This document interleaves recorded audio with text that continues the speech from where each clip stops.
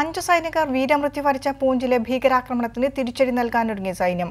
ഭട്ടാദൂരിയ മേഖലയിലെ വനങ്ങളിൽ ഉൾപ്പെടെ ഭീകരർക്ക് വേണ്ടിയുള്ള തിരച്ചിൽ തുടരുകയാണ്.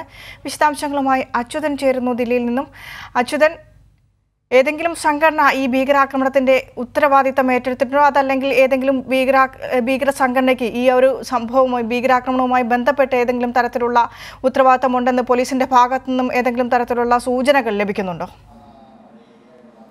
വിൻഷ അന്വേഷണ സംഘത്തിന്റെ നിഗമനമനുസരിച്ച് ലഷ്കർ ഇ തോയ്ബയുടെ ഏഴ് ഭീകരരടങ്ങുന്ന സംഘമാണ് ഈ പൂഞ്ചിലെ സൈനിക വാഹനത്തിന് നേരെ ഇത്തരത്തിലൊരു ആക്രമണം നടത്തിയത് എന്നുള്ള ഒരു പ്രാഥമിക നിഗമനത്തിലാണ് ഇപ്പോൾ അന്വേഷണ സംഘമുള്ളത്. ഇതിൽ ഇതിൽ ഏഴ് പേരാണ് ഉൾപ്പെട്ടിട്ടുള്ളത്. ഇവർ ഈ റോക്കറ്റ് പ്രോപ്പൽഡ് ഗ്രനേഡുകൾ ഗ്രനേഡുകളും അത്യാധുനിക തോക്കുകളും ഉപയോഗിച്ചാണ് ഈ വാഹന വ്യൂഹത്തിന് നേരെ ആക്രമണം നടത്തിയത്. അപ്പോഴും അന്വേഷണ സംഘത്തിന് ഈ വാഹനം കത്തിയതിൽ സംബന്ധിച്ച് രണ്ട് രണ്ട് കാഴ്ചപ്പാടുകളാണ് നിലവിലുള്ളത്. ഒന്ന് ഈ റോക്കറ്റ് പ്രോപ്പൽഡ് ഗ്രനേഡുകൾ തുടർച്ചയായി ഉപയോഗിച്ചത് മൂലമുള്ള തീപിടുത്തമാകാം വാഹനം കത്തി നശിച്ചത്. രണ്ടാമത് ഈ ആക്രമണം നടത്തിയതിനു ശേഷം ഭീകരർ തീയിട്ടതായുമുള്ള രണ്ട് നിഗമനത്തിലാണ് ഇപ്പോൾ അന്വേഷണ സംഘമുള്ളത്. എന്തായാലും എൻ ഐ ഈ സ്ഥലത്തെത്തി ഫോറൻസിക് പരിശോധന നടത്തിയിരുന്നു.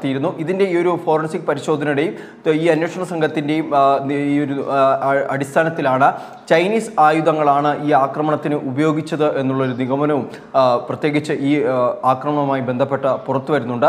എന്തായാലും പൂഞ്ചിലെ ഭീകരാക്രമണത്തിന് പിന്നാലെ ഇതിനൊരു മറുപടി നൽകാൻ തന്നെയാണ് സൈന്യത്തിന്റെ ഭാഗത്ത് നിന്നുള്ള നീക്കം.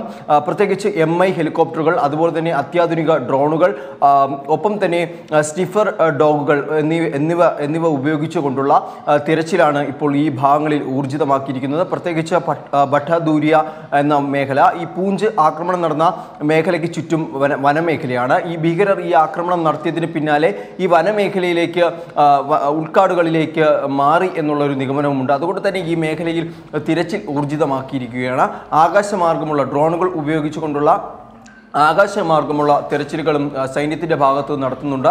ഈ ഏഴംഗ ഭീകരരെ സൈന്യം ഈ ഭീകരർ നിലവിലുള്ള സ്ഥലം സൈന്യം വളഞ്ഞതായുള്ള റിപ്പോർട്ടുകൾ ഇന്നലെ വന്നിരുന്നു. എന്തായാലും ഇതിനൊരു മറുപടി നൽകുവാൻ തന്നെയാണ് സൈന്യത്തിന്റെ ഭാഗത്തു നിന്നുള്ള നീക്കം. ഈ പ്രതികൂല കാലാവസ്ഥയെ ഉപയോഗിച്ചു ഉപയോഗിച്ചുകൊണ്ടുള്ള ഒരു ആക്രമണമായിരുന്നു സൈന്യം നടത്തിയത്. മാത്രമല്ല കേന്ദ്രത്തിനെ സംബന്ധിച്ച ജി ട്വന്റിയുടെ ഒരു പരിപാടി ജമ്മു കാശ്മീരിൽ അടുത്ത മാസം നടക്കാനിരിക്കെയാണ് ഈ ആക്രമണം ഉണ്ടായിരിക്കുന്നത്. അതുകൊണ്ട് തന്നെ പല ആശങ്കകൾ നിലനിൽക്കുന്നുണ്ട്. നേരത്തെ തന്നെ പാകിസ്ഥാൻ ചൈനയോട് ഈ ജി ട്വന്റി ഈ ഒരു പരിപാടിയിൽ പങ്കെടുക്കരുത് എന്നുള്ളൊരു നിർദ്ദേശങ്ങളൊക്കെ നൽകിയിരുന്നു. അതുകൊണ്ട് തന്നെ ഈ ഒരു ആക്രമണം ഈ ജമ്മു കാശ്മീരിൽ നടക്കുമ്പോൾ അത് ഈ ജി ട്വന്റിയെ എത്രത്തോളം ബാധിക്കുമെന്നുള്ളൊരു ആശങ്ക കേന്ദ്രത്തിന്റെ ഭാഗത്തു നിന്നുണ്ട്